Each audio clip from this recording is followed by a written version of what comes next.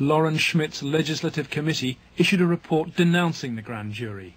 Two months later, it was disbanded, leaving Schmidt a broken man. The message was not lost on most politicians in Nebraska.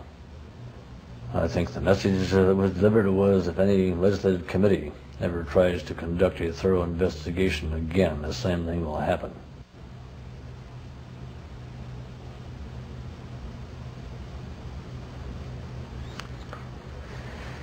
It has shaken my faith in the institutions of government.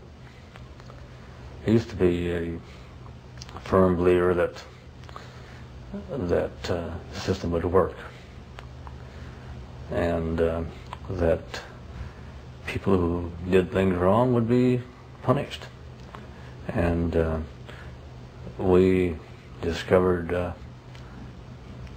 victims who claimed to have been abused and who the grand jury acknowledged had been abused. But they did not try to find out who had abused those individuals. Instead, um, they convicted Alisha Owen of perjury. Indefensible from my point of view. In July 1991, Alisha Owen was convicted of perjury. Her sentence was between 9 and 25 years. I can't find a case in the history of this country where some kid got sentenced to 25 or 30 years in prison for something like this. If you were going to pick a, a what I call a tell sign, something that says something fishy about the whole thing, it was in the sentencing itself. For some reason, they had to send a signal to every kid who was a potential witness. My opinion again. A signal so loud and clear, if you dare to come forward, if you dare to talk, watch what happens. Three months later, Larry King was jailed for the $40 million fraud.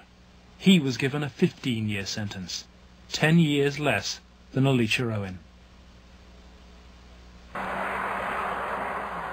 John DeCamp is now the only man fighting to help Larry King's victims. He has become the lawyer for Paul Bonacci and Alisha Owen. I live in Nebraska. Hell, I was born here, raised here. I have four kids growing up here. Like it or not, it, it's my heritage, you know? Well, if it's a dirty cesspool that I got to live in or look back on that I left, that ain't good. The real cost, if I were going to say to my family, has been the fear and intimidation that's put in some of the kids. A couple of the kids are really, really frightened and uh, uh, really had some sleeping problems over you know, here, this or that. So that, that's been the real concern I've had. In the face of mysterious threats, John has turned for advice to his friend and one-time boss, former head of the CIA, Bill Colby. Uh, old Bill Colby told me better than anything. The, the one thing that uh, the bad people can't afford is publicity, and, and knocking you off right now or doing something obvious to, to one of your kids uh, would bring them more trouble than it's worth. I said, you, you have to consider the possibility of some danger to not only your reputation, but to your person. I mean, there are people do react rather violently to some kinds of charges, or particularly if they're true, there's more apt to be a negative reaction than if they're false. If they're false charges, then they can be reacted to in a normal way by a libel suit or whatever. But uh, a true, if there's truth in it, there can be a danger in that situation. We've seen that happen in other cases.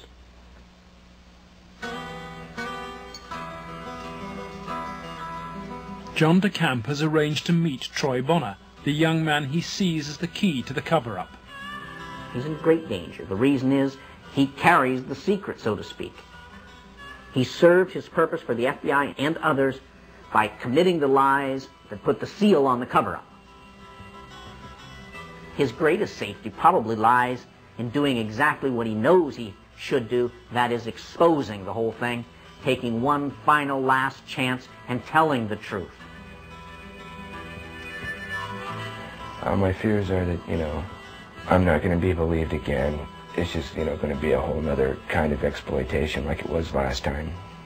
You know, and afraid that that's going to happen or, you know, I might end up dead or a loved one might end up dead again.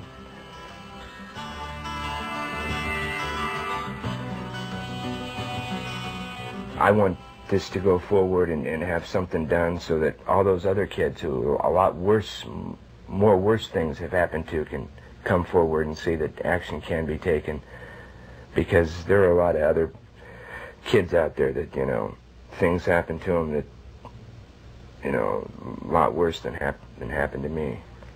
You have to, if you want to protect yourself and your life and your family's life, both now and particularly in the future, is to use the institutions of government that have been set up to protect you and make them work. That means you go into federal court, you go after the people that have done this cover-up, and you expose it so there's no longer any percentage on their part in eliminating you because the secret's out. That's why we're here today, to, to, to, to let it out. I have no doubt that he's now telling the truth, number one, and number two, that he originally told the truth. Potentially, they could decide to charge him with perjury because now he is telling that they forced me to lie. I did lie at Alisha's trial. I did lie before the grand jury. I did it because the authorities were forcing me to do it, and I was scared for my family. My brother had been killed when I when I tried to back out the one time. Potentially, they could charge him with perjury this time. Alisha Owen is out of prison and on bail, while DeCamp appeals against her perjury conviction.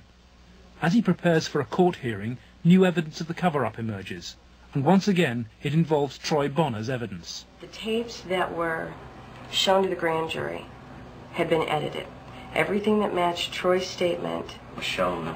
that matched mine 'Cause I know it's- was it's raised- edited out.